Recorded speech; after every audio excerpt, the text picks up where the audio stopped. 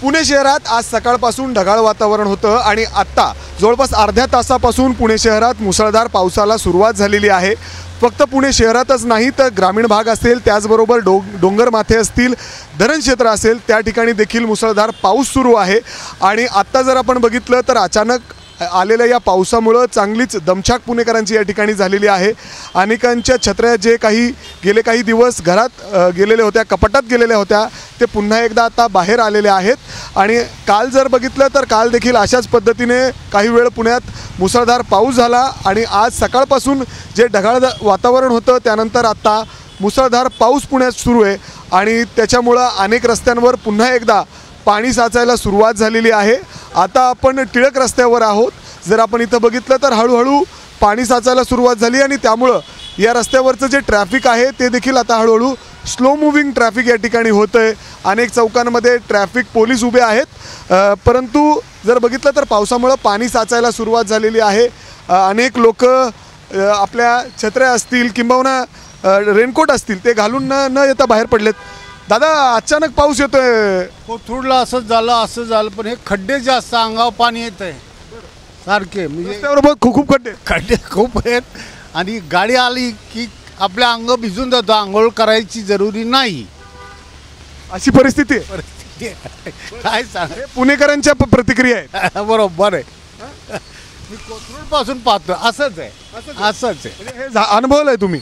अनुभव आता आजच अनुभवतो.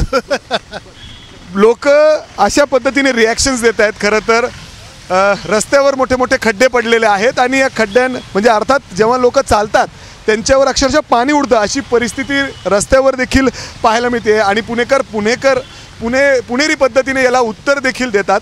आता मी जसं सांगतोय की रस्त्यावर पाणी साचायला सुरुवात झालेली आहे. रस्त्यांवर मोठे मोठे खड्डे पडलेले आहेत आणि या खड्ड्यांदेखील खड्ड्यात देखील पाणी साचते खरं तर याकडं महापालिकेने लक्ष देणं गरजेचं आहे. याच्यावर सातत्याने मंत्री देखील टीका करतायत.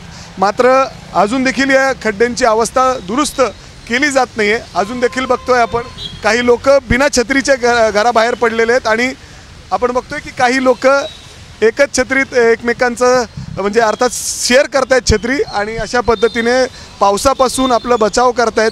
परंतु अचानक या आलेल्या या मुसळधार पावसामुळं पुणेकरांची चांगलीच या ठिकाणी दमछाक झालेली आहे. हवामान खात्याकडून जो अंदाज वर्तवण्यात आलेला आहे त्यानुसार आणखीन पुढील तीन ते चार दिवस असाच पाऊस मुसळधार पुणे आणि आजूबाजूच्या परिसरात राहणार आहेत. आणखीन काही पुणेकर आहेत. मामा रेनकोट तयारच होतं का? माहिती होतं पाऊस होऊ शकतो? नाही नाही मी रेनकोट माझा गाडीतच असतो. मग पा- अचानक आलेल्या पावसामुळे चांगलीच दमछाक झाली आहे सगळ्यांची. हा बरोबर झाली. हा? झाली बरी- सगळीकडे असाच पाऊस दिसतोय भरलंय पाणी रस्त्यावर. रस्त्यावर सगळीकडे पाणी आहे. हो पाणी आहे सर.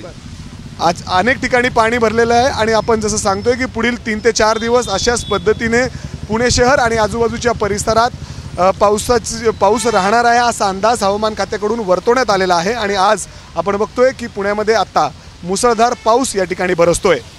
कॅमेरामॅन अमोल गवाळेसह मी मिकी घेई ए बी पी माझा पुणे.